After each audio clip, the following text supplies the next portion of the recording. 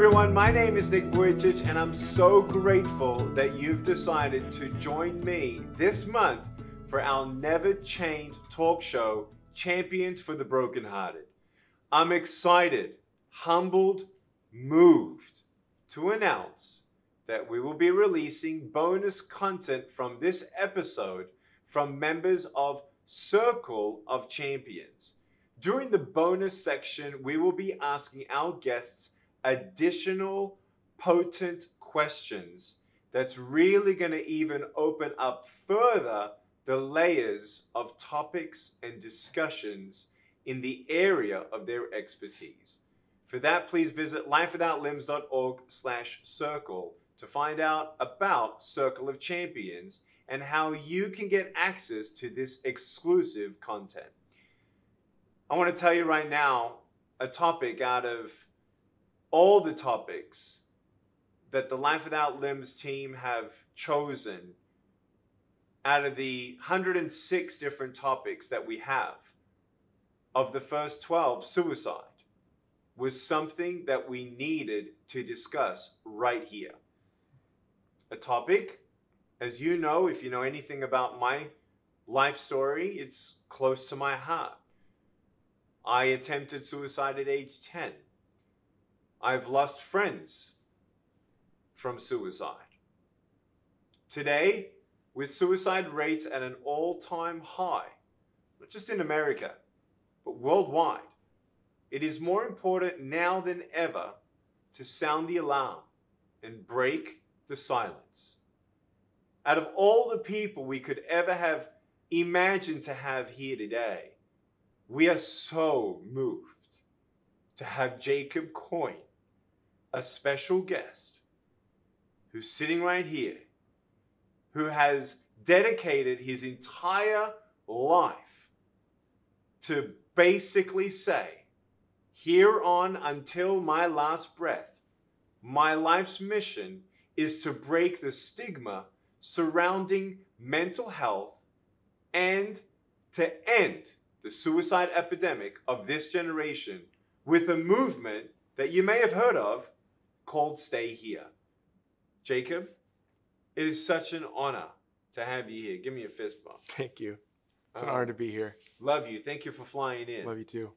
Um, say hello to your wife and your three kids for us. I love you guys. yeah, Love yeah, you Ryan. can say hi to them too, but say hello back to them when you get I will. home. Brother, you are such an ambassador. He's an ambassador for Gen Z. Thank you. Um, Jacob, God has called you to start a movement to end suicide. yes. Period. Yes. Tell me how did God stir up your heart and bring you to a position of influence to now starting to see the beginnings Mhm. of teenagers saying, you know what? I got it. I will never think about suicide again. Let's talk about the beginnings of this movement. Right. So it all started for me when I lost my uncle Greg Sweet in 2015 to suicide. He was like a father figure to me, and he helped me come to Jesus. Mm. Um, so he had Parkinson's disease, and he lost the battle to that disease. And he was a, just an incredible man, incredible sorry. man of God. And when he left our, our family in 2015, that left a huge mark on my life. And then I was a youth pastor. And as a youth pastor, I lost two students to suicide. In fact, Wow. one of them um, jumped over, jumped off an overpass, and I drove by her um, wh- while the paramedics were taking her off the, the street. Um, so that obviously left a massive mark on my life. And then in 2019, I had a mentor named Jarrid Wilson, and Jarrid Wilson was a pastor. And on Suicide Prevention Day in 2019, Jarrid decided to take his own life and leave his wife and kids behind here.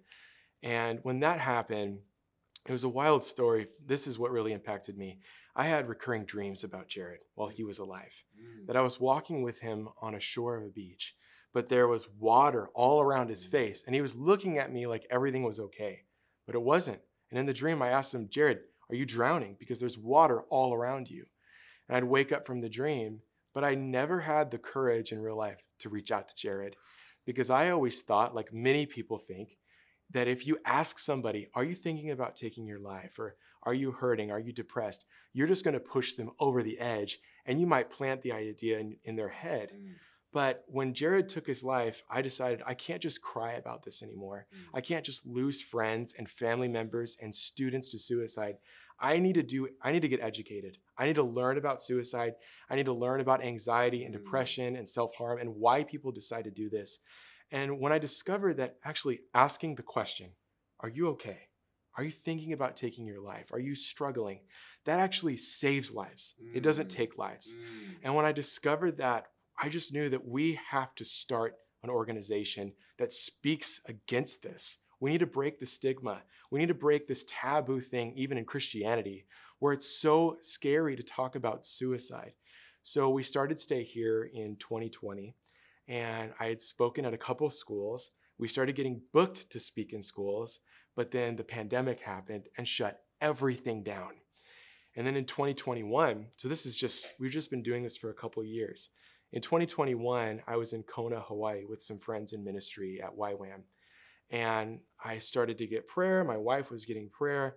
And I had a vision where a man named Lou Engle, he's a big prayer guy, he was on a stage on his knees screaming, Gen Z will be suicide free. And in the stadium, all teenagers were there and they were shouting back to him, Gen Z will be suicide free. And they left the stadium and they kept shouting it in their, their, their high school campuses, their college campuses, even in middle schools. And we started to see the end of this epidemic that we're seeing today called suicide. So, really, since 2021, we've been going hard after this vision and believing with faith that we can end suicide. But it's not just going to be one man with a microphone doing it, it takes a generation to save a mm. generation. Mm. And that's what we're here for. We Wow. stay here just equips people and teaches people to stop suicide when you see the warning signs. Listen, many people we are oblivious to stats. Yeah. You've got right now fentanyl, 300 teenagers Mhm. overdosing every single day. You have, though, this epidemic of suicide. Right. um, ages, I think it's 15 to 24, where it's the second most cause of death, Yeah. suicide. And I just heard last week that with a smaller bracket and a younger bracket, even 10 to 14, hmm that it's the same thing there. But I think it was between ages 14 and 17, the leading cause of death. It's what I just heard hmm is suicide in America. Yeah. In America, in, in a land of the home, the, the, the home of the, the free and the brave. Okay, what is going on? Tell me, what what do you think has happened? Yeah, I think ever since 2020, it's like we've been taught to just be afraid. Everyone is in constant fear and anxiety. And then also you have the, the social media craze. Young people on average are on their phones nine hours a day watching video content. Nine That- hours a day. Just video content. That's not talking about texting or anything like that or Googling things. wow. Nine hours a day watching uh, Netflix, TikTok videos, Instagram videos, all sorts of bad stuff that, that you can look up on the internet, internet nine hours a day. So I think the problem is we have messed up our, our chemical our minds Mm. chemically to need dopamine, to need a fix all the Mhm. time. And we've lost touch with reality. Mm. It's easy to make a 30 second TikTok video, and if you don't like it, you can delete it. So people just think, I can just delete my life. I can just end my life. And we've so many young people say, I don't even know what's real anymore. Everything feels fake when they're in a physical place like a school campus. Mm. They can't figure out the difference between what's real and what's fake because our minds are so messed up with social media. And that's that's one of the big things for our organization. We want to be on social media where lost people are. We don't want to avoid it. A lot of Christians would avoid it and say it's it's bad, it's evil, you shouldn't be there. But but like what you're doing, I see you on TikTok and all these different apps preaching the gospel. We want to be where people are. And that's what Jesus does. Mm. Jesus is with the lost Mm. and we need to be with the lost. So that's the biggest issue that that I'm seeing. And we understand that the mental health. I mean, what you just said, what he just said, was scientifically proven. There is rewiring that happens in your brain. Yep. Okay, that's why I actually think that actually more school shootings are happening. Yep. You know, before we ta- you know take, I'm sorry, but we gotta we gotta stop these kids watching shooting games. Mhm. You know, and and interacting. It, to me, it, it's it's it's more than just a a mental health thing and it's even more like i know you're going to agree on is is it's it's not just the addictions and the rewiring but it's also spiritual Yeah. yeah the, the spiritual realm is real Yep. i mean i know who you are because we have same mutual friends and we respect them Mm-hmm. and so, for those of us who believe in Jesus Christ and who believe in heaven, we also know that just as Jesus is real, so is the devil Yep. seeking who he can devour, kill, and destroy Mm-hmm. our own children. The spiritual realm of this. Talk to us about that dimension when we talk about the context Yes. of this uh, pandemic, epidemic, whatever you want to say. Yeah, well, it says in John 10:10 that the enemy comes to steal, kill, and destroy. But Jesus says, I have come that you may have life and Mm. life to the full, or life Mm. more abundantly. Mm. So that's what the enemy does. He wants to kill us. Mm. He wants to steal everything from us. He wants to destroy us. And, you know, even as an organization, our team decided, you know what? We can't sugarcoat the truth. There, there's enough of that. We, we can't be fake about this. We can't hide Jesus behind this mental health message because at the core of this is the spirit of death. If people are ending their life, that is the spirit of death coming to take them away. So when we actually started to change our direction and preach the gospel within mental health awareness, Mm. we started to see more people set free. When you speak the name of Jesus over these issues, it exposes the darkness and it has to leave. And I think for too long, we have been so shy about doing this because there's that stigma behind mental health. We want to be we want to make people feel comfortable about it, but when we actually expose the darkness and call it out, it has to run. It has to flee. I think the biggest eye opener for me personally was when I was supposed to speak at a youth camp. And on the night that I was going to speak, I never got to speak because so many students were getting delivered and set free. So I was going to, to preach the gospel and even talk about and call out suicide and anxiety and depression and self harm. But at this event, when I was closing out worship, I said, In the name of Jesus Christ, Lord, like just calmly, I wasn't trying to make anything happen. And all of a sudden, so many students just drop to the floor and they start crying, they start screaming. And a couple of the students, you can hear, I, I don't know what you guys think of, you know, this might be new for so many people, but there are demonic forces that attack people. And there are students who are saying, I am this, I am the spirit of death, or I am suicide, I am self-harm, I am going to take this person out. And we would come at these students and we would bring them back and talk to them and counsel them through it and get them delivered from these things. But there are real demonic forces. There is darkness that's trying to take out this generation. Mm. And we will win this fight. Mm. The enemy will try to come at us like a roaring lion. Mm. But the Bible says that the gates of hell will not prevail. Mm. All we need to do is stand up and speak the truth where there is this darkness. We need to expose these issues with mental health. And, you know, the church actually invented the hospital. Did, did you know that? I didn't know that. the church invented mental it it invented healthcare but i think that we're so behind in mental health care. We don't talk about it enough. And i've seen so many pastors and youth pastors talk to me and they say when i actually started talking about suicide when i did an altar call for suicide people got set free. Even my youth leaders began to get set free. Some of my worship leaders began to get set free because we're so afraid to talk about it in Mm. church. Mm. so we need to talk about this more. How do you start people to to start talking to you about their anxiety, their isolation, their depression? Um, I'm going to ask you in a second. I just want to say this though. Listen, I want you to know that I, I will tell you how powerful counseling is. I think what um, was just hit right on the na- the nail, right on the head, is the the disability of the church, of many, includes no Christian professional counseling. Yep. No one's talking about abortion PTSD. Mm-hmm. No one's talking about sexual abuse. One out of three girls are raped in America, sexually abused up until age 17. One out of five boys abused in America up to age 17. Um, and, and, and it's not just eh, what, what Jacob was saying was true that there are some demonic forces assigned to you. But even when you come to Jesus Christ and the Holy Spirit's in you, and no other spirit, for as long as you walk in a personal relationship with Jesus Christ and you put your armor on and you grow in the Word of God yourself, you're not dependent on your church to keep their doors open to study the Bible or pray to God.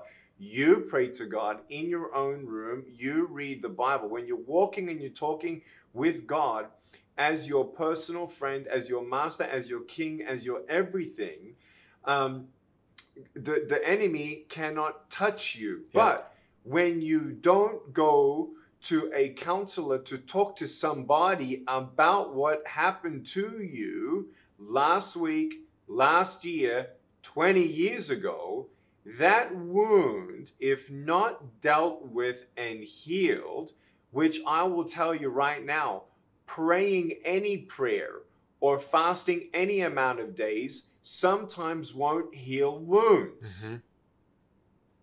It's not just a prayer for depression to be gone. It's not just a prayer for suicidal thoughts to be gone. We start there, but it's really you talking with someone that can say, Tell me what happened. How did you feel? And I went through that process in 2021. Mm. I kept things in me Wow. That that with 2020, it's not just 2020. I want you to hear what Jacob's saying. It's not just like, oh, 2020, blah, blah, blah, blah. No, Mhm. it actually unearthed Yes. triggers of the past. Yep. Things that were not dealt with. Sure, there's changing, yes, but really deep down, what really triggers us deep down in mental health are the unaddressed issues, the betrayal of people in your life. Mhm.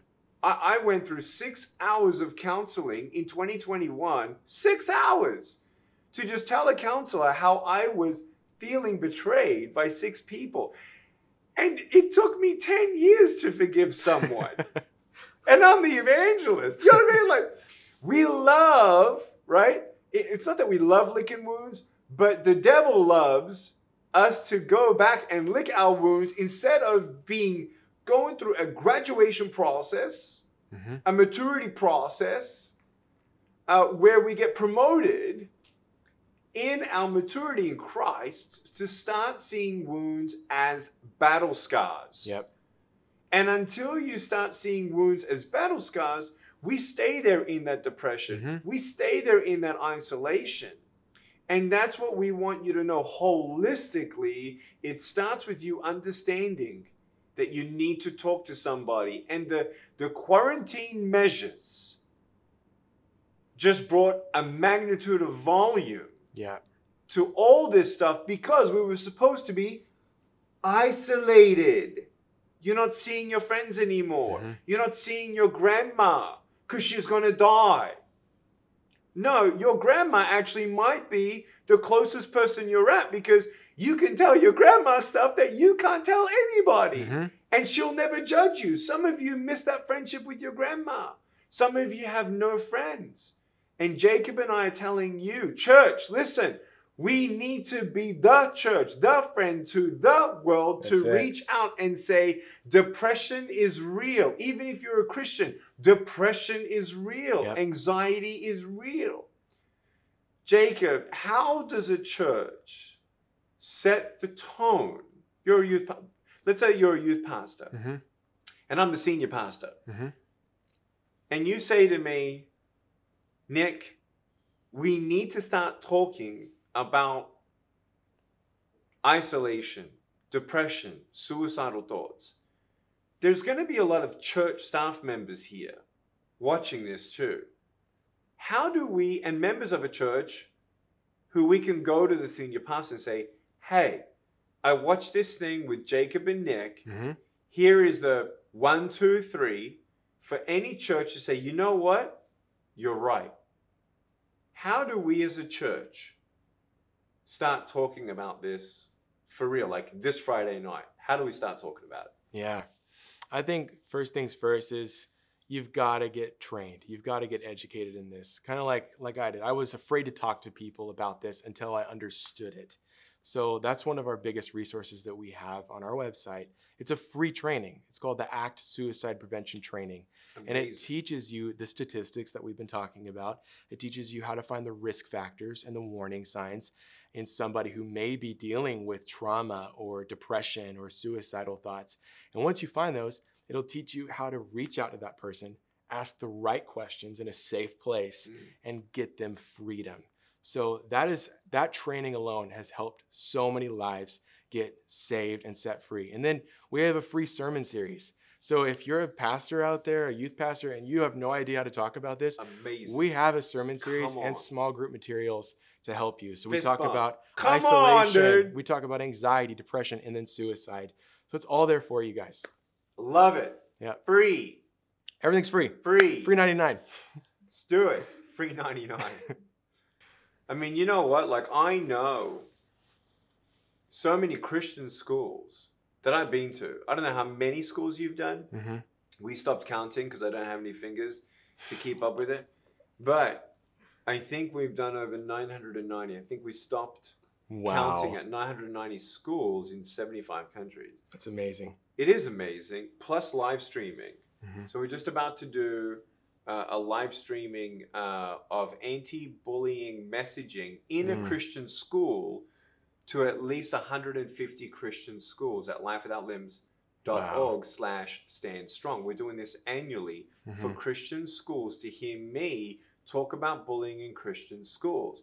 I mean, come Mm. on, youth pastors, you, you the, the people that are going to your church, teenagers, they're having sex, they're saying the F word, they're addicted to pornography, you're just not talking about it. Mm-hmm. Christian schools, we need to end bullying. If, if, if a Christian school can't end bullying, hello. And so, out of the 990 schools that I've been to face to face, Jacob, Mhm. for those of you who don't know, what, what we do is I have them bow their heads, close their eyes, put their hand up in the air, and the hand is open. Now, with this, I say, put your hand in a fist so no one's watching, including staff for liability purposes. Put your hand in a fist if you've thought of committing suicide. Hmm.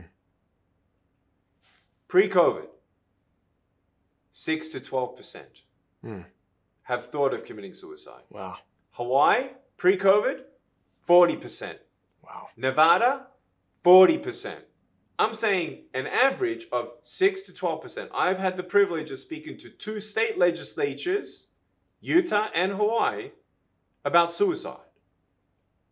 We've been on national programs with presidents about bullying in their country because we know the stats.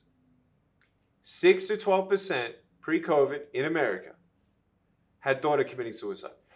Second question put your hand in a fist if you've actually attempted suicide. 3 to 6% Wow. of American teenagers tell me right there and then close their fist. hmm Put your hand in a fist if you actually tried to commit suicide because of a brokenness at home. 40% Wow. for teenage suicide It's because of brokenness at home. Could be fatherless, Mhm. could be divorce that they blame themselves for, Totally. anything. 40% of the reason for that is brokenness. And the last question is put your hand in a fist if you've actually hated your life so much that you are convinced that there is no hope for you because of bullying at your school. Hmm. 40%. So 40% of teenage suicide in America, based on the statistics of 290 schools in America, is because of bullying. That goes back to self-esteem that goes back to what they're feeding their brain to goes back to what you're allowing them to listen to which goes back to you telling your stu- your students at school your, your your kids at home that you're beautiful you're beautiful you're beautiful you're beautiful you're beautiful you're beautiful you're beautiful you're beautiful. Mm-hmm. you think you're lesbian? Okay. We love you no matter what. We love you. You, you think you're this you think you're that. We love you. Now you don't need to now say, okay, now who really agrees with me and who doesn't judge me and who. Love is unconditional. No matter what. We're supposed to love everyone. We're supposed to love Muslims. We're supposed to actually love and forgive the person who rapes my daughter. Hmm. We love everyone. But if you're of a religion and I'm your, not your religion, I'm not anti your religion. If you're something and I'm not, you know, I don't want now some religion that I don't believe in to now be indoctrinated in public schools. Hence, we can't say Jesus Christ. We also can't say Muhammad and the Quran. Same thing with any belief system that has anything to do with anything in diversity of the world that actually is different. Beautiful world we live in.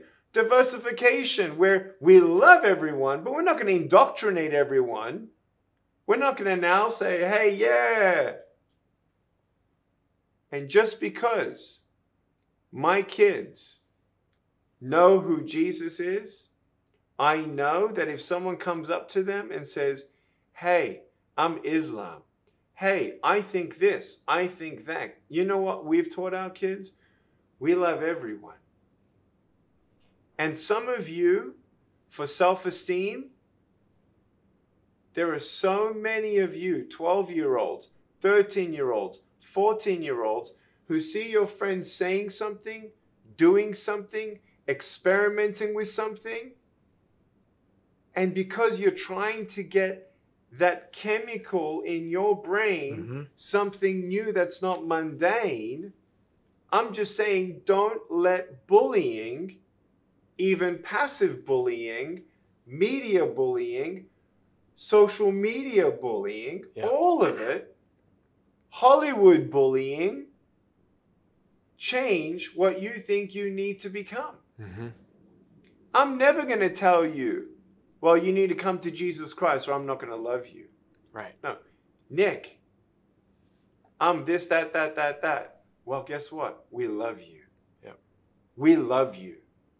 And we want you to know out there that at your school, if you're being bullied because you are lesbian and people are bullying you because you're lesbian or gay or transgender or queer or bisexual plus, I am sorry.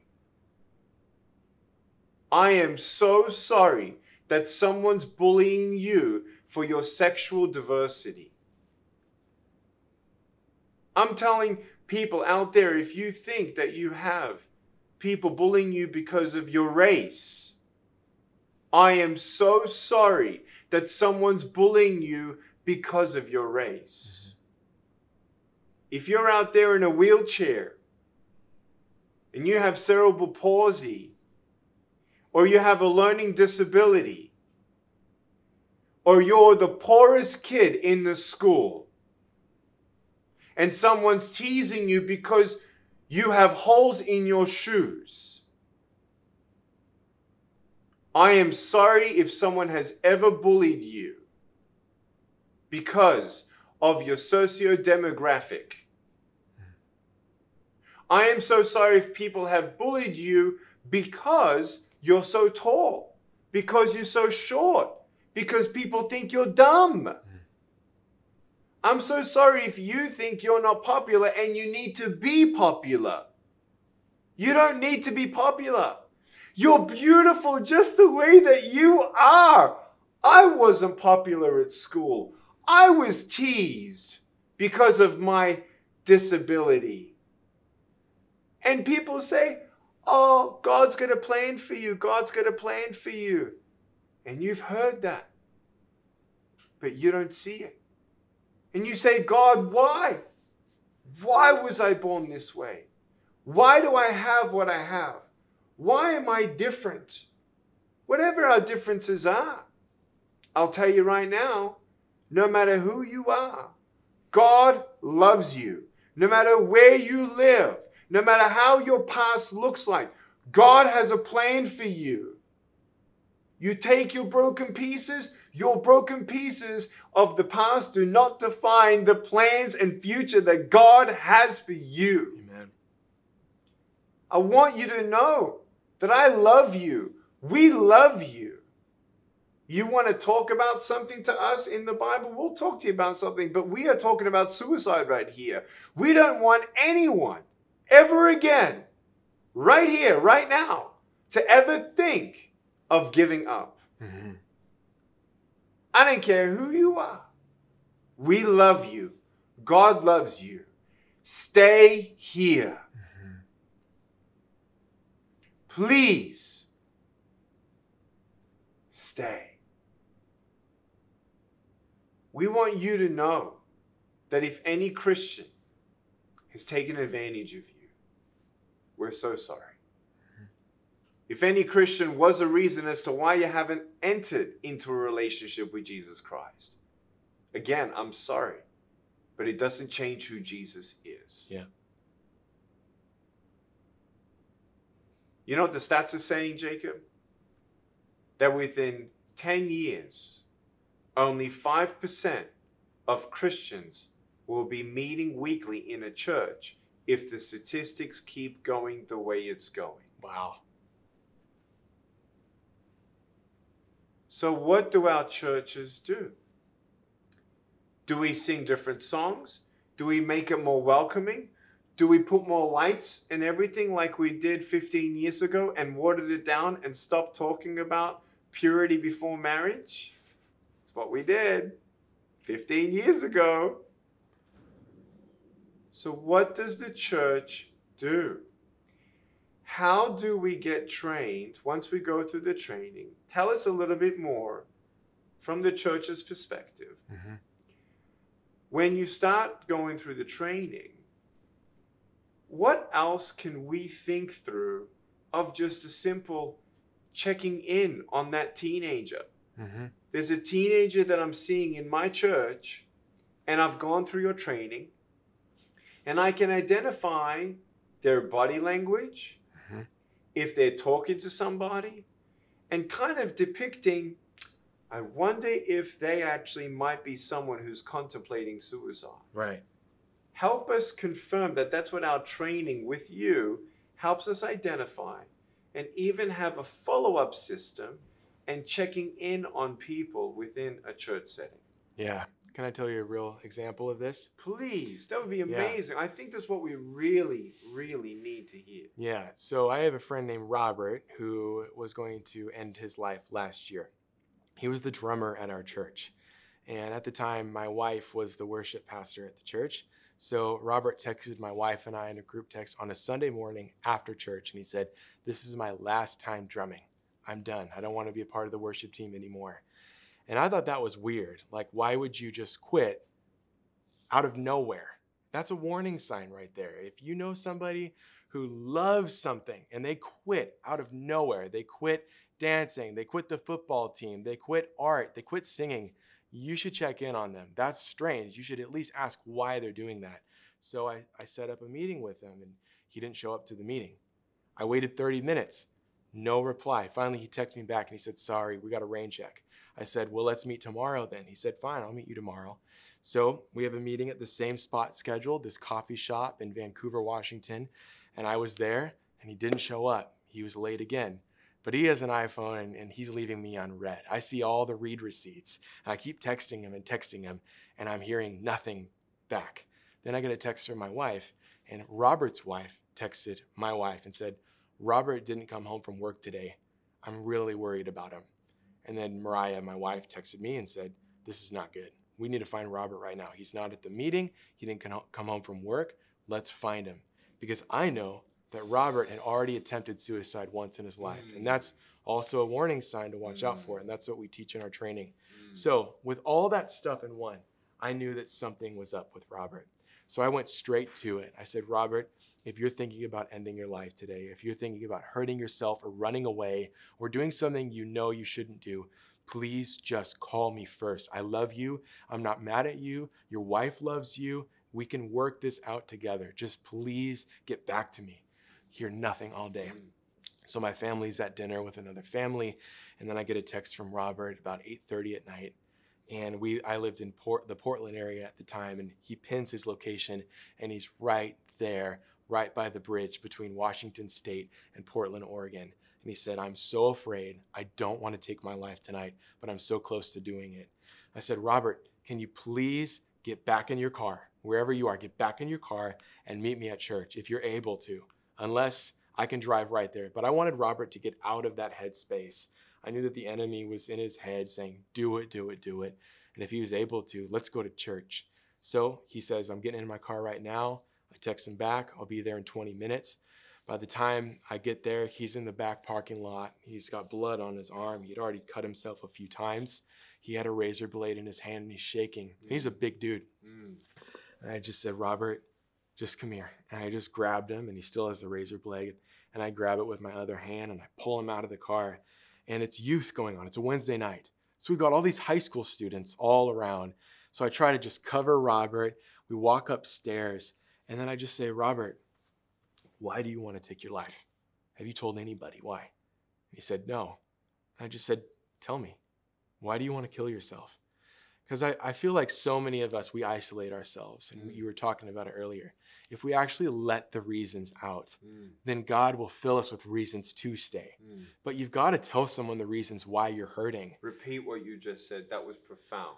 If you let the reasons why you want to end your life out, God will fill you with reasons to stay. It's it's so hard to get healing from something that you're hiding.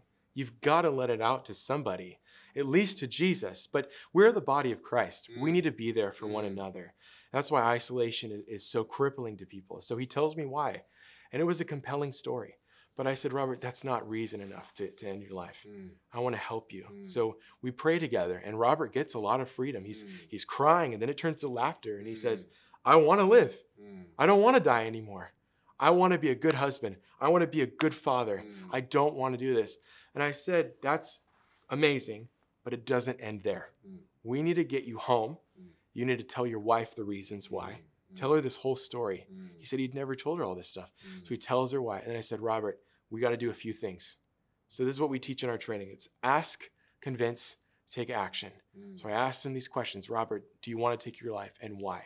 But then I convinced him, Robert, the whole staff at church is going to know that you attempted tonight. Are you okay with that? Because I need more eyes than mine on you. People need to know because people care about you. He said, That's fine. Mm. I said, Robert, And they get to pray right. and fast. Yes. So we're fighting for his life together as the Mm. body of as the body of Christ. Mm. And then I said, Robert, I want you to go to marriage counseling. Yep. I want you to go to personal counseling. I want you to see a doctor. Like, check your body out. What's 100%, going on? Is there something going on? Is it a chemical issue? 100%. Let's figure everything out. Yep. And then I want to meet with you and I want to know when you're going to counseling. I Mm. want to I want it on my calendar so I can follow up with you and make sure you're getting on this right track. So Robert says yes to all these things. He takes action and I take action with him. And as we follow up, I see him getting healed every single week, more and more layers of healing. And then he takes his wife on a trip to Puerto Rico for their anniversary. Their marriage is just thriving, it's restored. And then months later, Robert reaches out to me and he says, I want to join the, the worship team again. And I want to film my testimony at the very spot that I was going to kill myself. So we went there and it was so, I just cried so hard. It was so surreal. We were standing on the ground where he wanted to end his life, where the enemy was whispering in his ear, kill yourself now. And he dances on that ground where he was going to take his life. It was just so beautiful. And to this day, Robert is free. So it takes community. It takes all of us to save a life. It's it's not just like you said earlier, you know, we we can pray things away, but you've got to stay with people. You've got to stick around. You've got to be a faithful friend. The Bible says love suffers long. Mm. You've got if you love someone, you've got to be willing to suffer with them. You've got to carry burdens with them. You can't just say, "I love you. I'm sorry for what you're going through. I'm praying for you. Yeah, I'm praying And you're for you. lying. No, yeah. You're lying. I'm, I'm praying for you. No, Right. you're not. I'll headbutt you. You've got to be there. You gotta be. You You've gotta, be a real friend. And Jesus says, the world will know us by our love. And you are saying all these, you know, Christians are leaving the church. It's because we need to love better. The world is looking for love.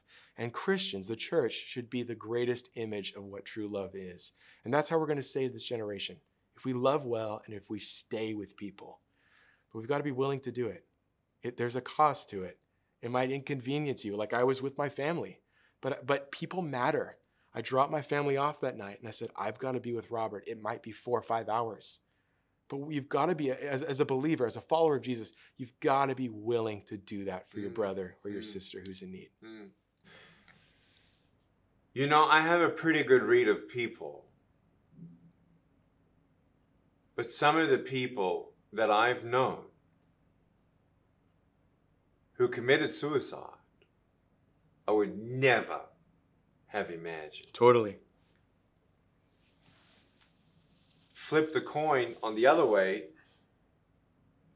During 2019, 2020, and 2021, I was 2020, 2021 especially depressed and, Mhm. and anxious. And I, as a Serbian, Baltic, Eastern European, you know, if I'm not smiling, I've got a I'm gonna kill you resting face on. You know what I mean? Like I'm like I don't show much emotion that much. Nor do I really open up to people about how we feel. Mm-hmm. That's not just culture, it's how you grew up that matters too, and how many people you have saying, How are you feeling? Mm-hmm. And I knew myself proactively, feeling going into that depression.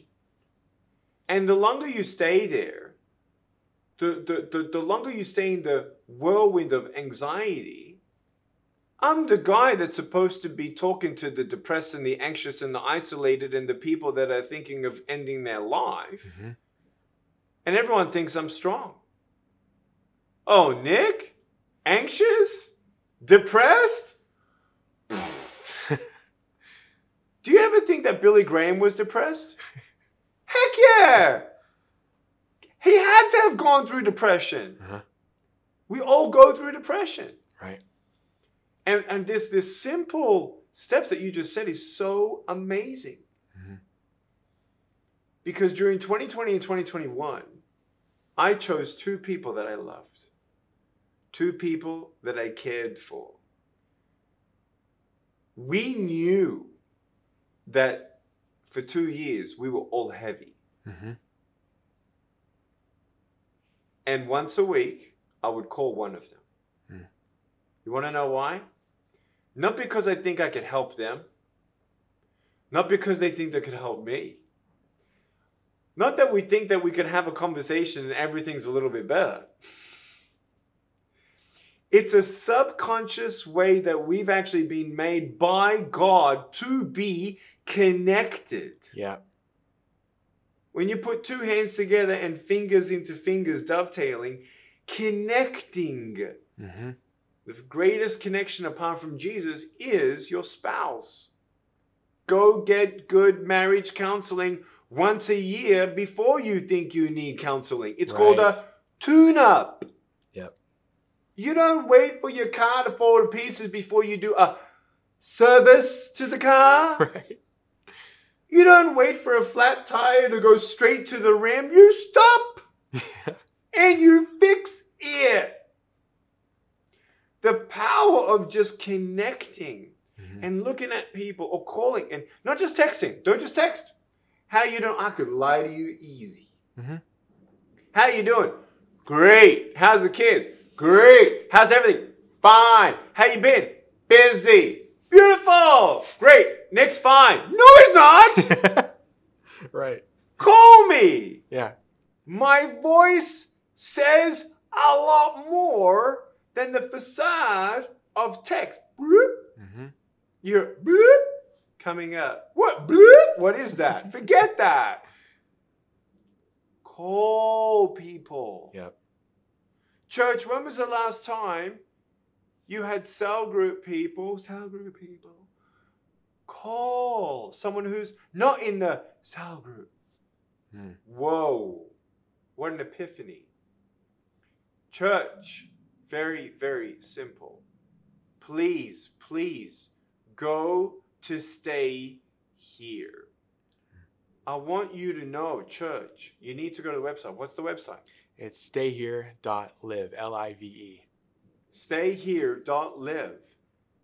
Listen, how will someone know about the hope of Christ and the love of Christ and the reason to stay here unless someone tells them? Yep. How can you tell them if you're not trained in how to tell them and identify? And it's for free. Yep. This is the commissioning right here. We're not waiting for the denominations to become one. I give up on the denominations becoming one. It was never about the denominations becoming one. COVID 2020 didn't cause 42 denominations under the PCCNA to become one. They gather at one table, but they're not one. Right. So, because Life Without Limbs believes that, it is champions in the circle of champions of the ambassadors who realize we're not waiting for a crippled church to become one. Hmm. And neither should you be waiting for your pastor to tell you what to do. Don't blame your pastor. Don't blame your denomination. Hmm Are we not the church? That's right. Go to stayhere.live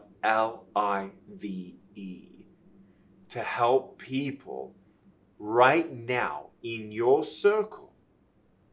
You can be the champion in the circle of influence God's given you. Amen. And I'm going to challenge you right now to write down five names of people, five names that you're actually going to call weekly. You're going to call two people on Saturday. You're going to call two people on Tuesday night. You're going to call two people on I don't care when. Do you know what that is? It's love. hmm love. And now to the people who you've thought of ending your life. You're sitting here, you're watching me get a little passionate. My arms are flying everywhere.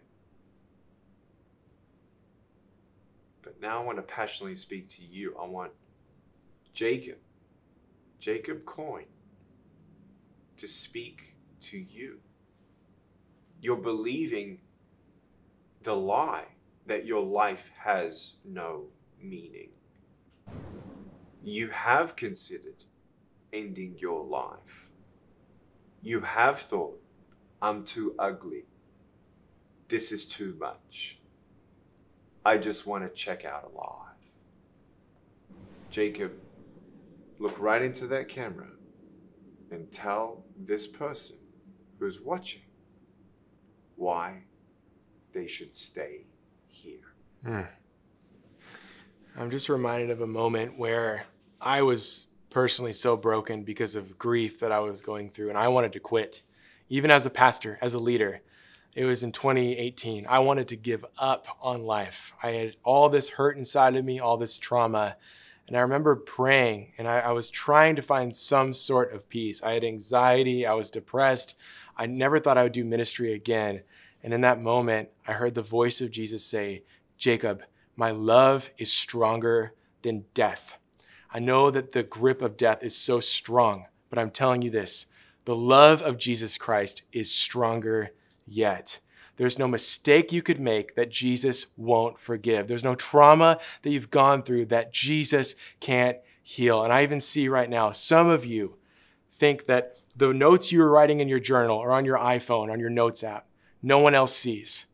You've written out your suicide note and you think no one else has seen it. I'm telling you right now, Jesus Christ sees it. He's read every single word and he hears you. The Bible says that Jesus weeps with those who weep. He knows the pain that you're going through. He's not far from it. He's right there with you in your room as you're watching this. So I'm asking you to fall into the arms of Jesus because he can and he will set you free. I've seen him do it to hundreds of people now, thousands of people now, that when you call on his name, he will be there and he will deliver you. And then please, if you're dealing with this, don't just leave it in, in your prayer room. Don't just, don't just pray about it. I want you to talk to your mom about it, talk to your dad about it, your grandma about it, your best friend, your spouse about it. If you're hiding this pain, it's time to let it out. So please, right now, call on Jesus' name after you're done watching this, and then call a friend and get the help that you need. Please stay. You matter so much. Listen, I want you to know that if you don't believe in Jesus, because it doesn't make any logical sense as to why a loving God allows you to go through pain. Mm. And you've prayed for things to stop, and they don't stop. First of all, if you're in a dangerous place of abuse, domestic abuse, there's a national hotline Yeah. right now to call. Call that number. That is not God's best for you to be put in a vulnerable place. That's right. Second of all, I want you to know that I've prayed for arms and legs, and I have a pair of shoes in my closet in case he says yes to me. He healed my back, medically unexplainably. I had holes in my spine, Hmm. and I have none today. And the doctors call it a miracle. Yet he chose, he chose not to give me arms and legs to this point. What I want you to understand is when you don't get a miracle, you can still be one. That's right. And maybe you've gone through a brokenness at home. I tell teenagers all the time that I know that it has to be harder being in a broken home than having no arms or legs. And I want you to know today you're here for a reason. Mhm. Why stay? So let's say that all you've wanted was to have a mom and dad that loves you. For real. And you get through this. And you find healing for the most important thing first, which is your soul, spirit, and your mind. We can't turn back time. Mhm. We can't wish things just to be better. But today, what if you actually choose to stay? Mhm.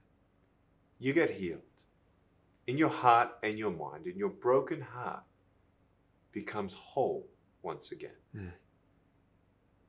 And 10 years from now, you stumble across a 14 year old person who feels like giving up because all they wanted was a mum and dad that loved them. Mm. Can you not more powerfully in the hands of God help that person to know that God loves them and that there is still a plan for their life more than the worldwide limbless evangelist?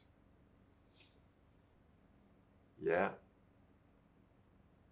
I might be meeting presidents, but your story is even more powerful for that lost soul. That's right. You know how many limbless people God's helped through our story? A lot. Do we know if God's going to give all the limbless people, including me, that I know, limbs here? No. Are we waiting for limbs? No. You know what we're doing for those of us who are limbless? Go and encourage other limbless people to know that Jesus is Lord. Mm-hmm.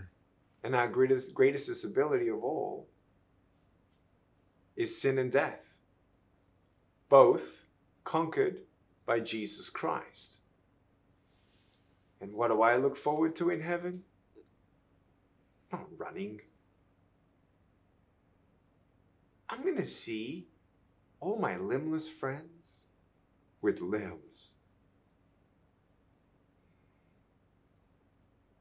And they're going to say, I'm so thankful that you helped me believe in real love, Hmm. the love of God. You helped me to believe Jesus died for me. You helped me to believe that this place called heaven was real. What about that day for you?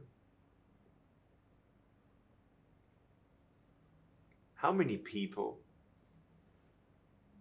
do you think would make it all worthwhile from a logical point of view in how a loving God could allow us to go through something?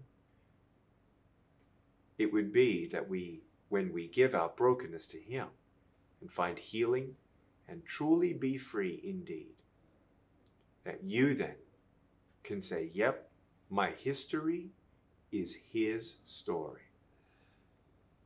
And then you, in turn, become part and the member of the circle of champions. We're in the circle of your friends. Five, ten, fifteen years from now.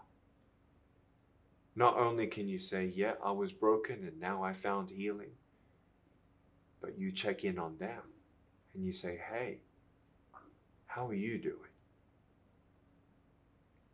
There's a greater purpose for you. You're here for a reason.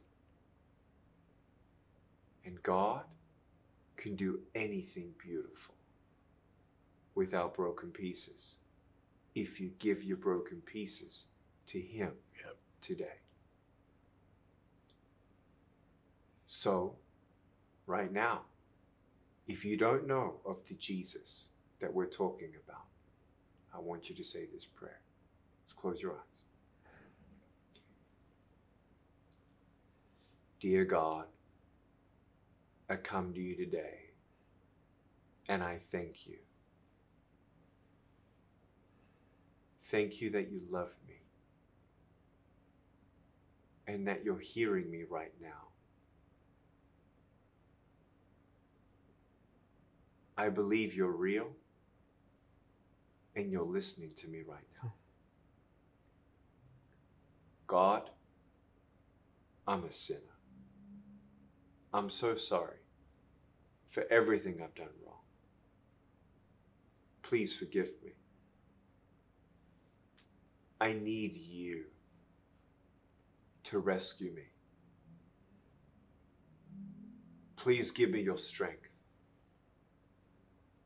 Please give me faith to believe that you're with me and you have a greater plan for my life. Save me, God. I can't do this on my own. Strengthen me right now. I declare in the name of Jesus that I will remain here. I will never give up Yes. and I will believe that you have a plan for me. Jesus, thank you for dying on the cross for all of my sins. I believe you are the Savior And I ask you to lead me and guide me and fill me with your Holy Spirit. Help me to know how to live. Help me to pray. Teach me to read your promises that are written in the Bible. I repent of what I know I'm doing is wrong. Help me to live a life that is not sinful. Give me strength to stop doing the things I need to stop doing. Give me the strength to start doing the things that I need to start doing. God, thank you that you love me. Help me to know the truth. Because today, until my last breath, I commit my life to you. I want your plan, not mine. I need your strength and your purpose, not mine. Hmm. I give you my heart, my depression, my anxiety, and all of my pain. And I ask you, God, that you would help me one day at a time to stay here until you take me home. But I today make a commitment to you, God, to not rely on my own strength, but lean on you. In Jesus' name, I pray for every power and principality of darkness that makes me think to give up, to flee in the mighty name of Jesus. Yes. And I ask, God, you, Jesus. that you would help me to find the person you want me to talk to. Mm. In Jesus' name, I pray. Amen. Amen. We love you. Maybe you're watching this and you know someone who needs hope. We invite you to visit Champions for the Brokenhearted on our website, lifewithoutlimbs.org. Today we've talked about suicide. There are other topics that we've talked about. But today, think about, pray about who you can share today's message with because it might be a matter of life and death. Mm. We know why we are here it's to save lives and change the world with God's love. And I want to tell you right now if you're a Christian and you're like, what do I do? What do I do? Go to stayhere.live for all the resources and support you need to know how to engage as a member of the Circle of Champions and how your church can grow and learn about what's to come with Life Without Limbs developments, too. About how we all want to equip the churches to be the hands and feet of Jesus. We're now going to switch over to our bonus questions for those of you who are part of our Circle of Champions. To find out how you can watch this bonus content, please visit the Circle of Champions at lifewithoutlimbs.org slash circle. We love you and we're praying for you. And Jacob, love you. Love you too. God bless you. Thank you. May He continue to give you wisdom, direction, provision, Amen. perfect understanding of His perfect will. May God bless your ministry. Thank you. How do you even survive on the financial aspect of your nonprofit? If someone wants to donate to you, how do they do that? Yeah, that's just on our website. So stayhere.live. We are all actually missionaries right now. This is so urgent for us that we have decided to just go full on with this mission. But if you want to support our, our organization as a whole, our general fund, or our missionaries. You can find that all on our website. We do need your support. If we want to reach more people, it takes finances. So check that out on our website. And thank you in advance for anyone who chooses to support us. Jacob, we love you. God bless you and your family Thank and all the missionaries and all those people who continue to send you to go tell them to stay here. Thank you. Everyone, thank you for watching. You've been watching Champions for the Brokenhearted, the Never Chain TV talk show. I'm your host, Nick Vujicic, and we'll see you next time. Bye bye.